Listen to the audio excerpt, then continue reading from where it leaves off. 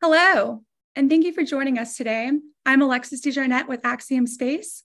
We're excited to share an update on the important microgravity research, experiments, technology demonstrations, and STEAM outreach that will occur during Axiom Space's AX2 mission, which is now targeted to launch the ISS no earlier than May 8th.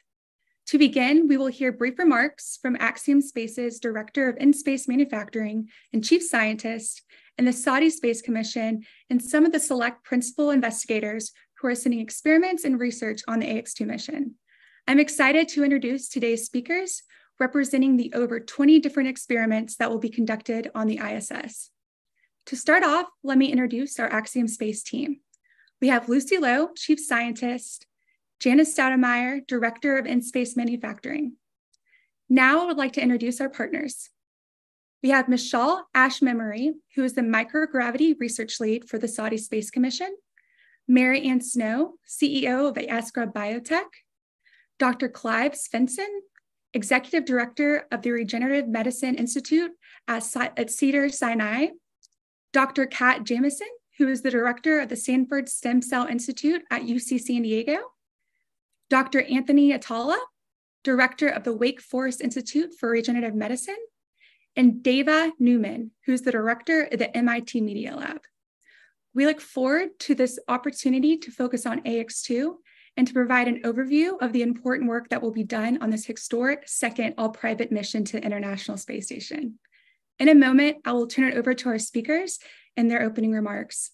Following the remarks, we'll open it up for reporters to ask questions. If you'd like to ask a question, please submit your questions in the chat to the moderator or use the raise your hand feature. When you are called upon, please state your name, affiliation, and to whom you'd like to direct your question to. We'll begin with Lucy's opening remarks. Over to you, Lucy. Hello, good morning, good afternoon, and thank you so much, Alexis, for the introduction. Uh, welcome and thank you so much for joining us today. We're really excited to tell you about some of the outstanding research that we have planned for the AX2 mission. So as you know, uh, AX2 is the second all-private crewed mission to the International Space Station, and Axiom Space is the commercial space industry's only full service orbital mission provider that is conducting full service end to end crewed missions for private astronauts, both private individuals and those representing global sovereign nations. We are privileged to partner with an ever expanding international space community to diversify the space industry, expand access to space, and enable more nations, individuals, researchers, and organizations to have access to work in microgravity than ever before. So a couple of fun facts for this historic AX2 mission. Um, Dr. Uh, commander Dr. Peggy Whitson will be the first female commander of a private space mission. We're tremendously excited that she is commanding this mission. This is the first mission with both private and professional government astronauts funded through a commercial arrangement. Uh, we will be welcoming the first Saudi astronauts to visit the International Space Station, and that includes Rayana Barnawi, who is the first Arab woman to fly to space uh, and the first female astronaut from Saudi Arabia. So on to the research. So the AX2 mission will consist of more than 20 experiments uh, and projects, as Alexis referred to, that contribute to our knowledge of ourselves, our planet, and our universe beyond it. Our four crew members will conduct all of these different experiments while aboard the space station.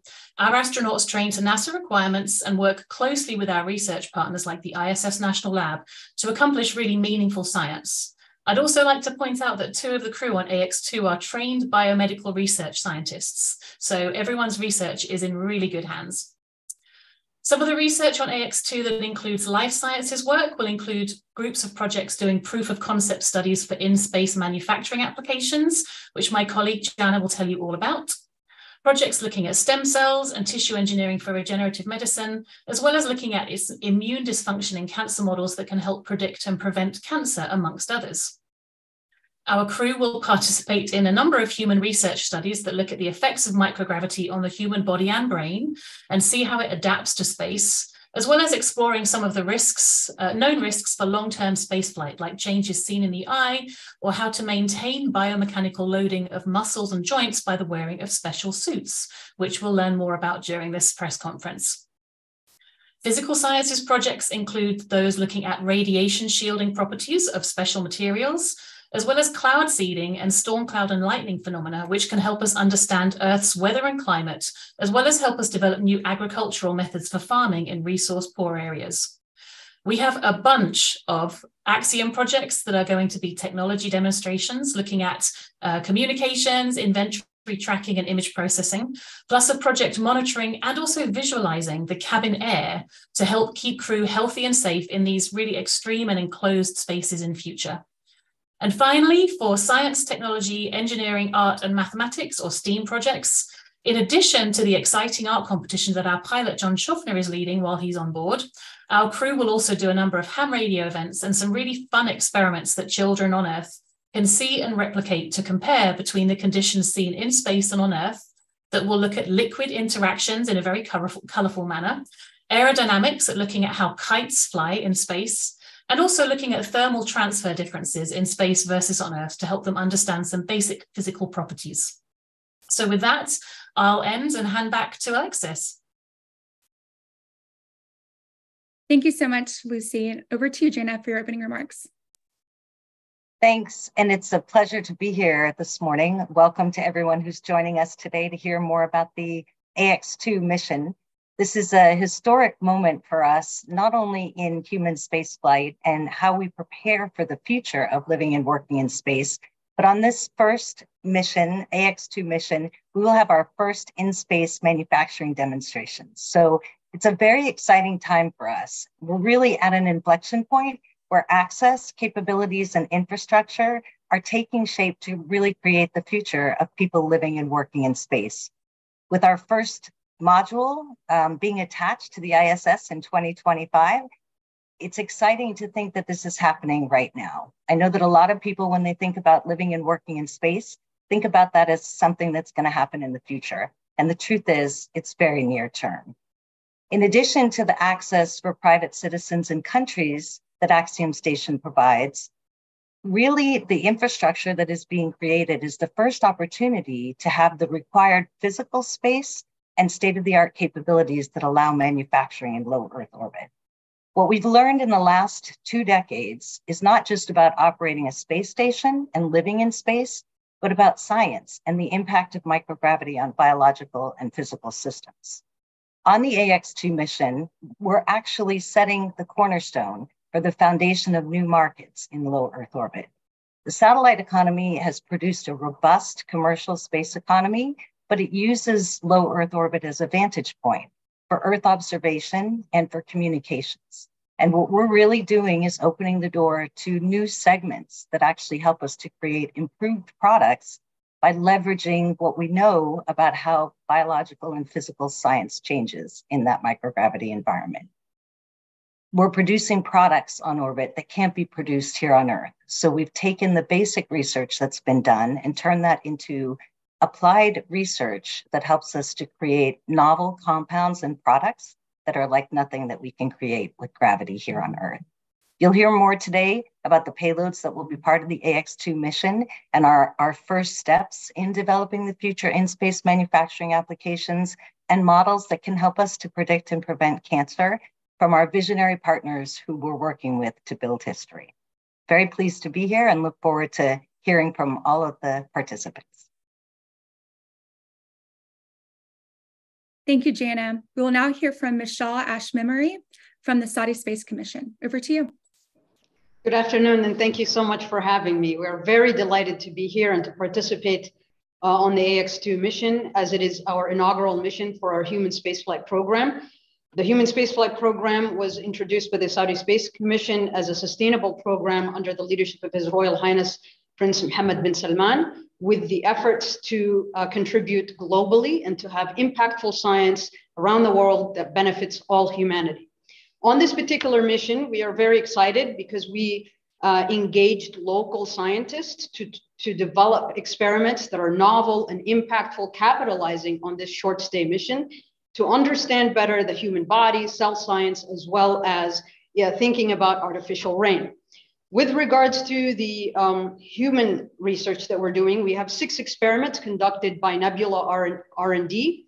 Essentially, those are focused on uh, blood-based biomarkers as an example to see how the effects of short stay missions have on uh, essentially these biomarkers, uh, which will inform in for future missions for tourists. So not everybody that goes to space is going to have go through the critical path for an astronaut. There will be space tourists, and to understand the effects of short stay missions on the human body, regardless of the level of uh, fitness of that person, is critical. Uh, in addition, uh, our Nebula R&D is also looking at alterations in the telomeres, the telomere length during this short stay. There was also other experiments focused on measuring, uh, using a pupillometer to measure the intracranial pressure, uh, as well as using an EEG for the first time to measure electrical brain activity while in space as well as using an ultrasound to uh, essentially uh, measure the diameter of the optic uh, nerve sheath and see what the effects pre or um, uh, pre the flight and then post the flight and then during the flight as well. And then there will be uh, another experiment, the sixth experiment from Nebula R&D is focused on cerebral perfusion and alterations in the brain uh, position in microgravity. These will help inform how the human body reacts in the microgravity environment and will give more data with regards to the short stay mission. Uh, on, uh, in addition to these experiments, as I mentioned, there is a cell science experiment. It's conducted by the world-renowned King Faisal Specialist Hospital and Research Center under the leadership of uh, Dr. Khalid uh, Abu Khabar, as well as Dr. Wijdan Al-Ahmadi and Edward Hitti. They are investigating the inflammatory response of the human immune cell in microgravity. More specifically, their research will focus on changes in the mRNA decay and the process that which can turn off inflammation. They're focusing on four investigations within uh, this subject matter. Um, then we have uh, this really interesting experiment in which we're trying to understand how can we cloud seed or generate rain in microgravity. This will help inform uh, how we can create artificial rain for lunar and Martian settlements. Could we potentially produce rain such that we enable uh, essentially agriculture on the moon and Mars? Uh, this experiment uh, is uh, under the leadership of uh, Dr. Ashraf Farahat from King um, from KFUPM, a university well known in Saudi Arabia. Then we have really exciting three outreach uh, opportunities and experiments. These outreach experiments are focused on essentially fluid uh, dynamics through uh, essentially it's called a liquid fireworks experiment. Kids are going to be able to do this experiment and in real time, the astronauts will do it on the ISS. They will juxtapose the results they get on the ground to the ones that are done in space, helping plant the seed of curiosity as well as getting them engaged with this mission. In addition to that, we have another outreach experiment called the Space Kite, where kids are going to conduct the same experiment again on the ground and compare it to what the astronauts will do live in while they're on their ISS mission. And where what they're going to do there is try to understand aerodynamics uh, inside the ISS and how it compares uh, because it's in microgravity to the to what we see uh, and the behavior of the kites on the ground. And the third experiment for outreach uh, essentially is one of my favorites, which is a heat transfer experiment. The idea there is to kind of expose kids to understand that the environment has a very impactful, uh, uh, it's very impactful towards the results of your experiment. So on Earth, we have conduction, convection, and radiation. But in space, when we create spacecraft, you can only have radiation. So how do you start planning ahead for those kinds of missions? The cool thing about the outreach program, it's going to be disseminated uh, through 47 different locations in Saudi in collaboration with the Ministry of Education, MiSK schools, Riyadh schools, as well as Mawhiba. Uh, all these are our local partners, and we are trying to engage uh, almost 12,000 students across Saudi. So we're really excited about that, and we hope it has a very impactful uh, experience to these kids, as well as most importantly, plant the seed of curiosity and create uh, the generation of uh, youth that will enter STEM and become our engineers of the future. Thank you so much. And we're really excited to hear about the other experiments with us today. And thank you so much, Mishaal. I'm now turning it over to Mari Anne Snow with uh, Eascra Biotech. Good morning, good afternoon, good evening, everyone. First of all, Mishaal, I agree with you. The experiments sound fabulous, and um, I hope to be able to see some of uh, the work that you're doing. My name is Mari Anne Snow. I'm the CEO and co-founder of Eascra Biotech. We're a nanomedicine startup based in Boston, Massachusetts. Uh, we're just 18 months old, so we're pretty early in our process. And we're going to space, first of all, because we think that to Jana's point that this is an amazing opportunity to be part of an emerging market, which will give us unprecedented opportunities. And we also think that in the short term, it will help us to accelerate our market entry here on Earth. Our technology is a Janus-based nanoparticle or um, JBNP. My co-founder, Dr. Yupeng Chen, invented it. He is actually working at the University of Connecticut. Uh, JBNPs, our technology forms an entirely new type of nano delivery platform. It mimics DNA.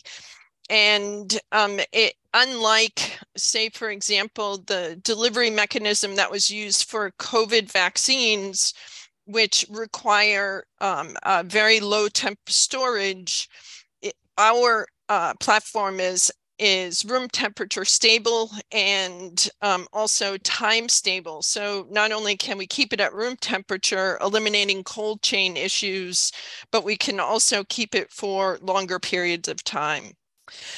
Um, our delivery system allows for RNA therapeutic delivery, gene editing delivery, or other therapeutics to reach different parts of the, the human body. Very hard to reach parts like joint cartilage. Uh, we can transverse the blood brain barrier, and we've also had some success with solid tumors. In addition to our delivery platform, the Janus-based nanomaterials uh, can also be self-assembled into a cell-free scaffold that uh, can be used specifically for cartilage repair and regeneration. So between our capacity to um, uh, be delivered into joint cartilage and the scaffold's capability to regenerate cartilage that's been lost, our initial target uh, our initial target market is arthritis applications both on the um, uh, disruption of cartilage loss as well as uh, regenerating cartilage that um, has been lost. So utilizing it in those capabilities. And with that i'm going to take a step back and pass it on to our next uh, person who will be talking about their science. And thank you, Mary. We now have Dr. Clive Svendsen with Cedars-Sinai. Okay, thanks so much, everybody. How exciting to be here and be part of this amazing team. I'm Clive Svendsen. I'm director of the Board of Governors Regenerative Medicine Institute at Cedars-Sinai in Los Angeles. Uh, we're a major medical center with a focus on patient care and cutting edge research. Uh, we also have a GMP manufacturing facility where we can make clinical grade cells for patient trials. So this project's with Axiom and Bioserve and NASA. Uh, as you mentioned earlier, it's part of the In-Space Production Program or InSPA. And it's been led by myself and, and, a great colleague I have, Dr. Arun Sharma, who some of you might know as well. So he and I planned this out, uh, a lot of help with uh, from Axiom. And the cell we're using is, I think, one of the most exciting types of cell in, in, in the universe. It's called an induced pluripotent stem cell. And to make these, we first take an adult, uh, any age, uh, and we take a skin cell or a blood cell, and we can take it back in time to a pluripotent state or an embryonic state by putting specific genes into these adult cells. So these reprogrammed cells can be expanded indefinitely. Uh, and at the same time, uh, they can then be pushed forward again to make beating cardiomyocytes or heart cells, liver cells, brain cells, in fact, any cell of the human body. And the ability to make these limitless supplies of young cells has obvious uh, opportunities for repairing damaged tissues in humans. And so we're very interested as a hospital to, to do this technology and get it into patients. However, the problem is expanding these cells and making them is not perfect. They naturally want to kind of turn into these differentiated heart cells. So it's uh, very important that we generate very clean IPS lines for the FDA and for manufacturing. And this is where the, the project came in uh, with Jana and her team and Axiom. Uh, so the goal of this mission is to see if we can actually make these IPS cells in zero G, uh, the first thing we're going to do is test uh, how can we put genes into cells uh, in zero G? And is that more efficient or less efficient uh, than doing that on Earth? It's never been done in zero G, G before. And this actually links to gene therapy products in, on Earth as well. Gene therapy is putting genes to replace lost genes in, in patients. Uh, we're going to see if we can do that efficiently. And so the first part of this project has never been done. But after that, we'd like to actually, the second part and the second mission that we're going to do is to actually make the iPS cells in space. So once we understand how we can put the genes in, we'll then put the pluripotency genes in on the space station. The astronauts would do this experiment on the space station.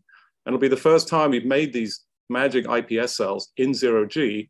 And of course, we're very interested to see how they produce up there uh, and see if they're better or worse than on, on Earth. And the hypothesis is they'll be a little better. Most of what we found about cells growing in space is they grow a little faster, uh, and we are predicting they won't differentiate as much. And the final part of this is, even though we might not end up manufacturing cells in space, the iPS cells, we might if it's a, a big benefit, but we'll also learn about what was it about zero G in the genome, in the, uh, the transcriptome of these cells that allowed us to make better iPS cells. So we'll be able to learn that and maybe then do CRISPR editing back on Earth to uh, make the benefit on Earth and use the, the things we discovered in zero G, bring it back to Earth and make better cells on Earth. So finally, we couldn't have done any of this work without the great collaboration partners we have at NASA, at Bioserve, and of course, Axiom, who've been working tirelessly with our teams uh, to get ready for this exciting launch. And with that, I will hand it back to, to the team. Thank you. Thank you, Dr. Svendsen. I'm now passing it over to Dr. Kat Jamieson with the Sanford Stem Cell Institute. Thank you so much, Alexis. It's really a thrill to be here today to be able to talk about our sixth experiment in space since December of 2021, which is it's hard to believe this time has gone by very quickly. Uh, we're very grateful to Axiom Space for really helping us to understand that space is a unique place to do science. And it's actually an opportunity to accelerate and enable the development of new diagnostics and therapeutic strategies that target precancer and cancer. Um, so I'm here to represent the Sanford Stem Cell Institute Astrobiotechnology Hub that we launched uh, just over a month ago now. And this is the idea to actually work together together with the 683 biotech companies here in San Diego to say, can we accelerate the development of products by understanding, as Clive was saying, these unique um, genomic insights that we get in space? So, what we've done so far in our integrated space stem cell orbital research center that has been funded by NASA and led by Alysson Muotri is that hematopoietic or blood forming stem cells age faster and they actually activate these mutator enzymes APOBECs that makes them mutate their DNA. So they start getting precancer, and that is called clonal hematopoiesis. With the experiment that we did last year uh, with Axiom Space, the AX1 mission, we were able to see that cancers, unlike normal stem cells, don't get exhausted. They keep cloning themselves. And that's a major issue, but also a major opportunity for us to see can we use space to understand why cancer does that? Why does cancer just take off? And so, what we started to think about with Janice Stoudemire and the team. And my team here with Jessica Pham leading the charge on understanding how cancer clones itself is to say in this low Earth orbit environment, can we see if it's a cancer cloning gene that gets turned on, almost like liquid oxygen for cancer? So if you watch a launch, you'll see that there's the rocket fuel. The, the rocket is ready to go. It's got rocket fuel, but it's not enough to actually get enough combustion to really take off. That's the liquid oxygen. And this is what we're finding. There's an enzyme called ADAR1 that behaves like the liquid oxygen for cancer. And that's what we're going to do in this mission. We're going to try and turn ADAR1 that cancer cloning gene off using two different drugs that we've found prevent ADAR activation. One is called fedratinib. It's an FDA approved drug, also known as Inrebic. The other one is called rebexinib. And then this is a drug that blocks ADAR splicing and its activation. It, the uh, gene ADAR is hugely important, not just because it allows cancer to clone itself, but because it allows cancers to evade the immune system. So with the Axiom team, we're going to determine if cancers proliferate faster. That's going to be in these KCO2 tumor organoid models in a bioreactor that we've developed. And uh, we're going to look at breast cancer models to see if the breast cancer cells that activate ADAR can be shut off and not proliferate. And then we'll look at a leukemia cell type called TF1A with the FUCCI or cell cycle reporter, as well as the ADAR reporter to say when the cells start to clone themselves, do they turn on ADAR? So we'll be doing all of those things uh, with Peggy Whitson, the commander of this mission, and the team. We will get real-time images with LIDOS, and we'll be able to interpret uh, the data very, very quickly. So we're really trying to turn this around to be able to develop not just therapeutics, but diagnostics to try and predict and prevent cancer recurrence, which is the number one cause of death due to cancer. So for us, we're thrilled to be able to work as part of this team and really be able to understand using microgravity as a strong stressor um, to get these essential insights into how cancer develops, but in 10 days instead of 10 years. So thank you for including us in this mission. Back to you, Alexis. Thank you so much, Kat. I'm now passing it over to Dr. Anthony Atala with the Wake Forest Institute for Regenerative Medicine. Thank you so much, Alexis. It's really great to be with everybody today. What an amazing team all around. I mean, I just can't believe all the exciting projects going up in space. So it's really nice to be with all of you. And really what we're actually doing is trying to do these projects where we're bringing regenerative medicine up into space. As you know, the shortage of organs is very real every moment patients are dying who could actually survive if there was an organ available. So Regen Med is actually one of these strategies. We can take tissues and make organs for patients. The strategy involves tissue engineering, where we can take a very small biopsy from the patient. We can expand the cells outside the body, and we can then recreate those cells back into a three-dimensional scaffold by either making them by hand or printing them. So we have many strategies to do that. One of the strategies that we have used is by 3D printing. And we have developed these printers over the last uh, you know, 20 years now, where we basically uh, are able to print cells and scaffolds together using very, very high resolution down to two microns. That's about 150th the diameter of one human hair. And we can precisely deposit the cells where they're needed layer by layer and creating bioinks that allow us to bring the cells to these nozzles as a liquid, but once they hit the platform, they retain their integrity. And by doing so, we're able to also create scaffolding systems that act as a highway system, if you will, that is able to bring nutrition to the central portion of the construct, allowing us to create solid structures. And in fact, that was the topic of the vascular tissue challenge that was launched by NASA a few years ago, where the challenge was to actually create solid functional tissue that will remain so for over one year outside the body. And that in itself is a major challenge when you're talking about solid tissues.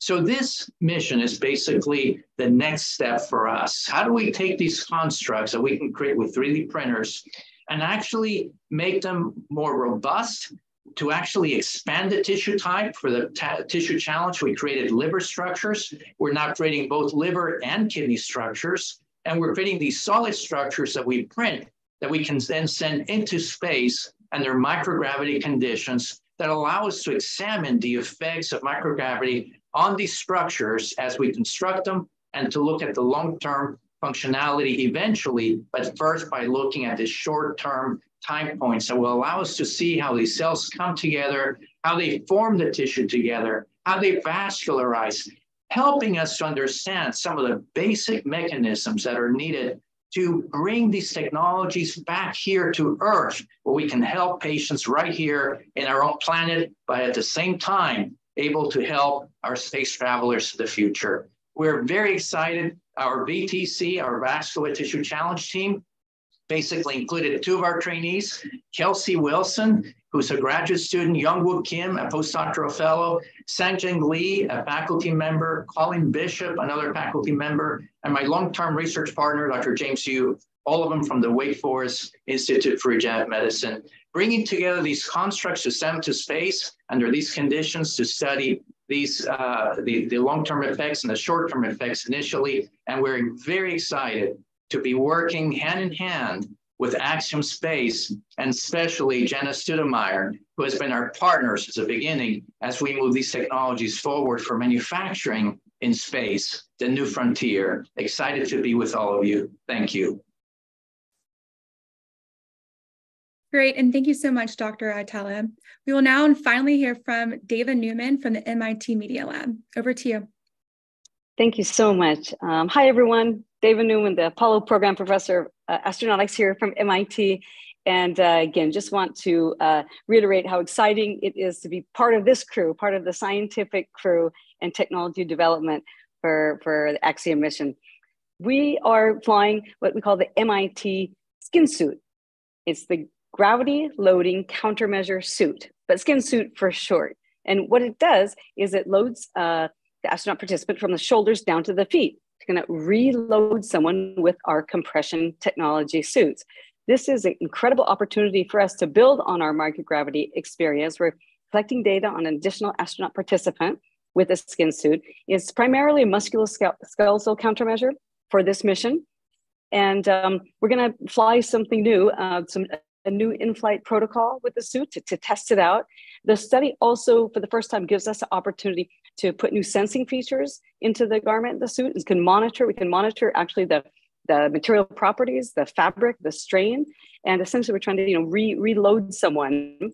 The proposed work has, let's say, two high-level research aims. The first is the technology demonstration itself with this smart suit that we've developed for this this wonderful opportunity for the AX2 mission. And we'll evaluate and characterize the loading function. We'll assess the comfort of the suit because this would be this is to be worn you know for a long time in parallel with exercise as, as your exercise countermeasure suit so technology demonstration first and then to the science so the second high level aim then is we're investigating the physiological effects that compression technology that this skin suit can put and specifically musculoskeletal countermeasure um, why? Because we have a significant physiological deconditioning in microgravity.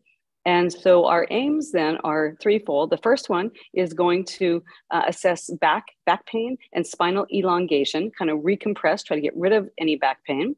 The second is looking at the sensory motor function. And then third is since we've now instrumented it, it's an exercise, we'll assess the exercise performance of the astronaut.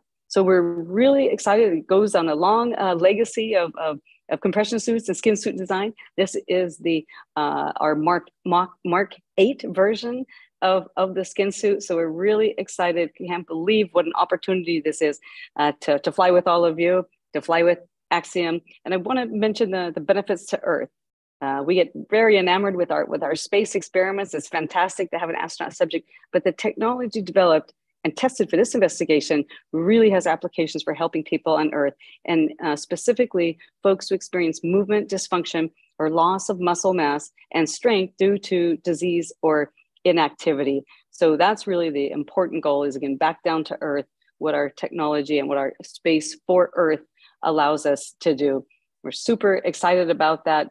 Couldn't uh, couldn't dream of better partners. Um, this is a new day with uh, private space missions, and I've seen it from the academic side, I've seen it from the government side, and now I'm thrilled to you know see it with uh, the private privatization. I, I, wanted to mention one one other thing quickly on on the STEAM front, since we're celebrating all of our students and our team, we also get to to fly what we call the Humans Disc.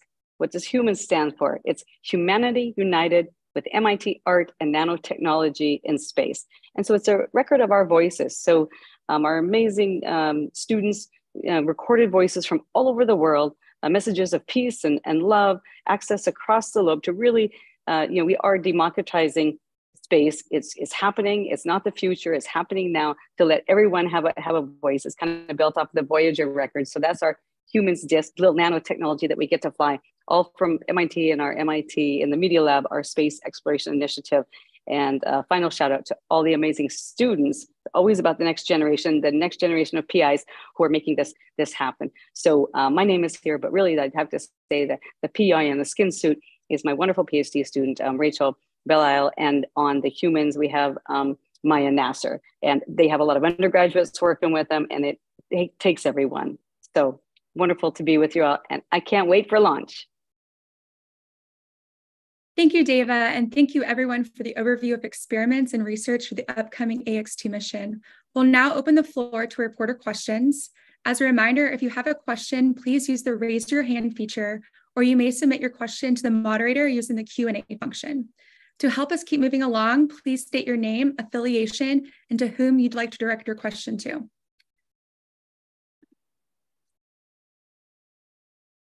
All right, and we'll first um, hear from Jeff Faust.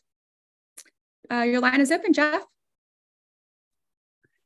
Hi, this is Jeff Faust of Space News.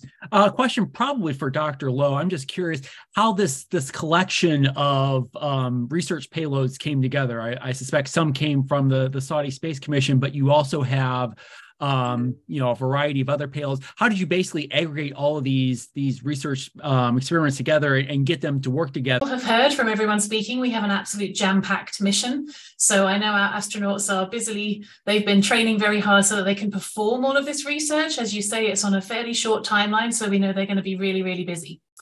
Now, in terms of how these uh, experiments ended up on AX2, then I think we've really highlighted a lot of the partnerships that we've been entering into. So, with this is the uh, first uh, commercial uh, space flight that is uh, uh, that is that we are joining with a sovereign nation.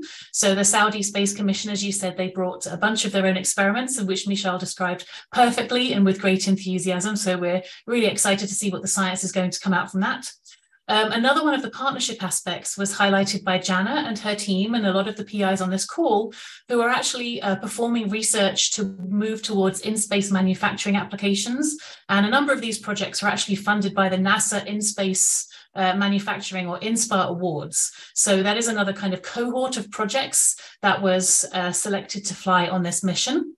And then we also have a number of private uh, and uh, commercial customers that want to fly their research in space and so approach us and we discuss with them what their science is. We discuss with them what the feasibility of their projects are, how we might implement it, how we might work with implementation partners to make their, their science and their research uh, visions a success. And then we basically play a massive game of very complicated four dimensional Jenga where we have not only to fit in all of the research, but we also have to coordinate all the crew time. We work extremely closely with NASA and the ISS National Lab to see how we can try and maximize the time that we have on orbit for our crew to do research experiments and then we have an incredible team here at Axiom that are incredibly um, experienced with mission integration and operations, who then, together with the PIs, make all of the magic happen. So it's an incredibly complicated team effort, but uh, we're, we're very positive and excited about some of the research that's going to come out of this mission. Thank you, Lucie. We will now hear from Sophie Sanchez. Your line is open.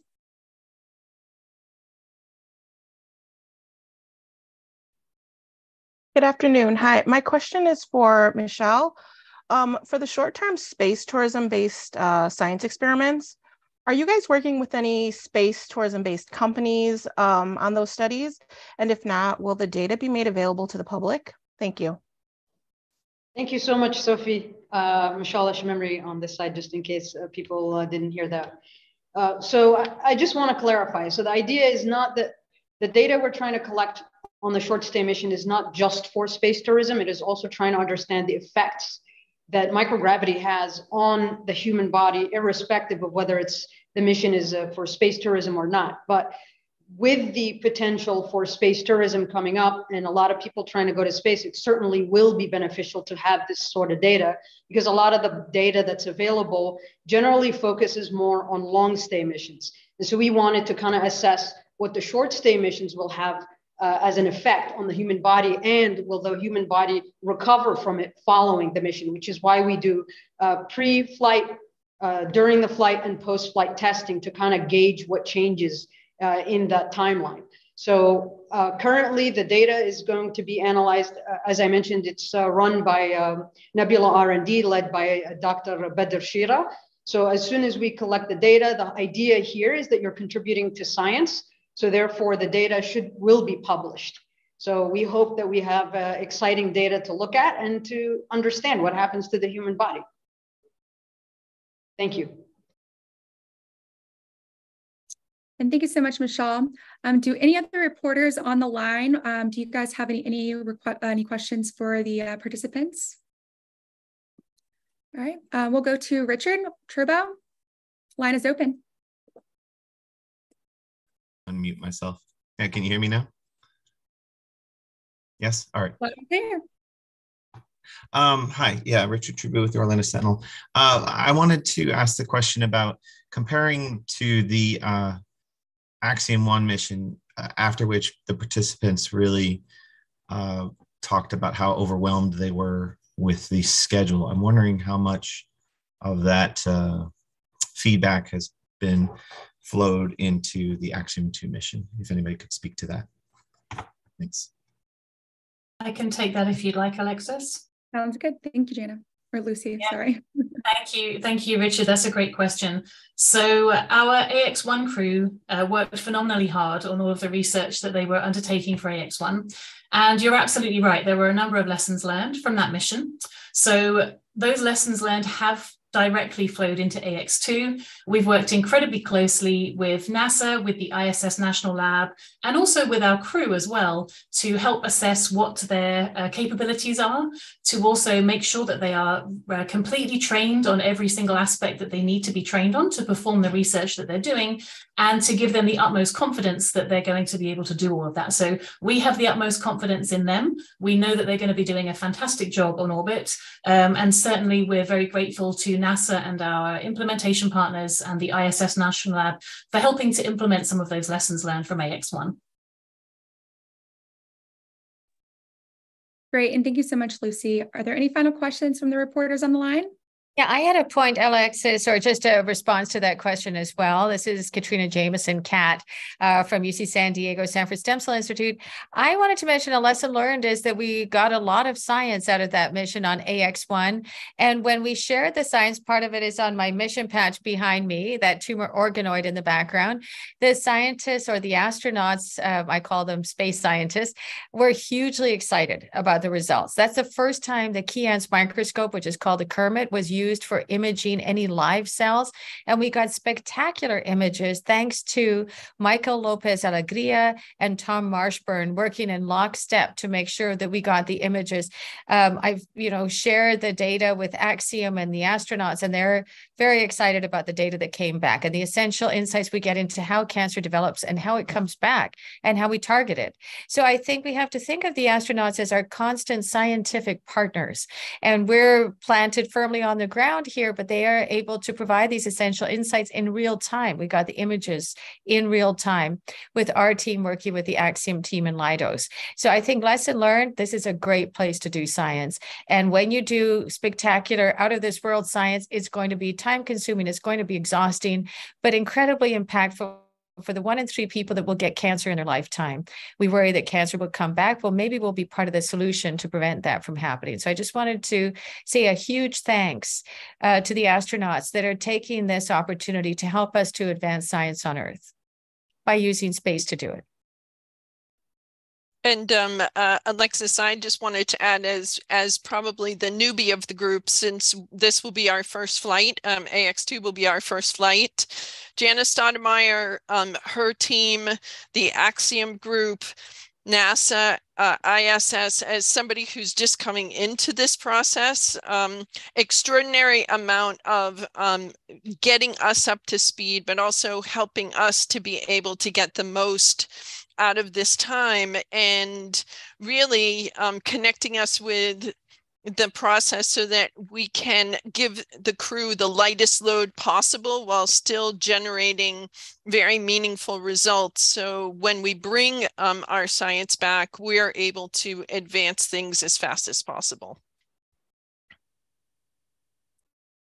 Thank you so much for that extra feedback. And it looks like Mike Wall on the line has another question. Um, as, as I mentioned, please state your name, affiliation, and then whom you'd like to direct your question to.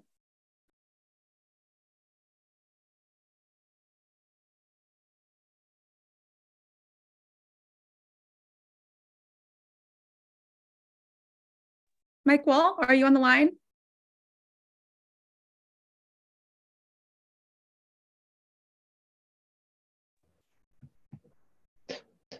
Can you hear me now? Loud and clear. Okay, great. Thank you. Um, yeah, this hi, this this is Mike Wall from space.com. I just had a quick question for Jana. Could could you tell us a little bit more about the in-space manufacturing experiment that you're going to be doing? What what exactly like does it consist of? What are, what are you hoping to to actually produce, and and what do you hope that it might lead to in the in the sort of relatively near future?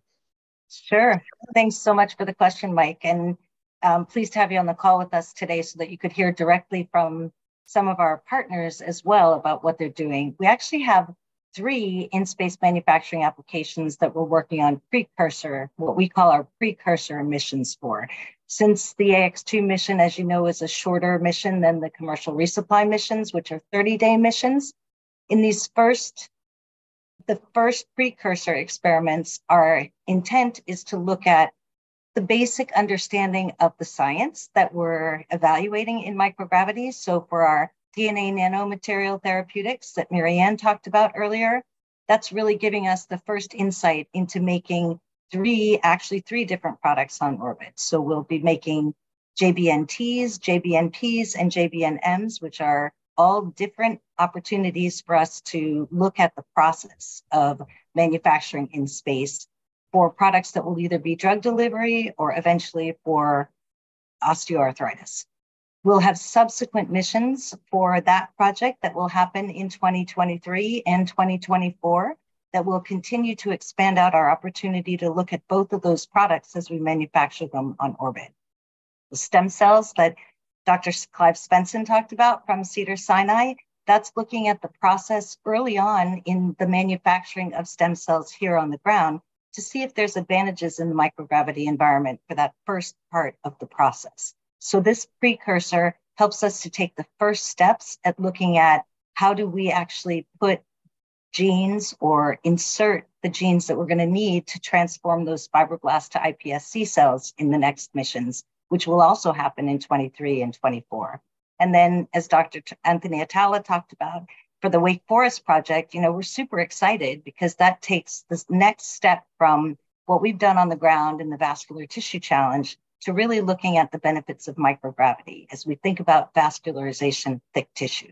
So we'll do look at both kidney and liver constructs in microgravity as a platform for multiple types of tissue. And then we'll go on in 23 and 24 to look at longer commercial resupply 30 day missions that look at liver and help us to understand more how do we build a bridge to transplantation until we can get to the opportunities to actually manufacture whole organs, which is the ultimate goal, are there ways that we can look at, you know, build, building blocks that help us to bridge to transplantation for patients? So we're really excited to have these first three precursor missions that are the steps that we will start to take in building those new markets in low Earth orbit that really open up biomedical applications and manufacturing. And having the opportunity to have our research and manufacturing facility you know as clive talked about there's obviously a need when you're making biomedical products to think about doing that under gmp conditions just like you would do here on the ground. And so